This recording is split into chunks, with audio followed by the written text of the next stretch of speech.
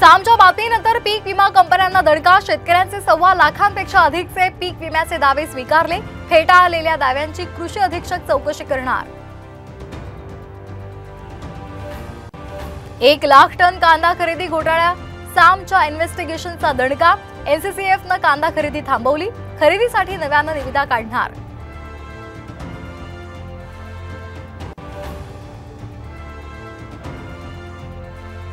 विधान परिषद निवडणूक अटळ उमेदवारी अर्ज मागे घेण्याचा आजचा शेवटचा दिवस कोण माघार घेणार याकडे लक्ष?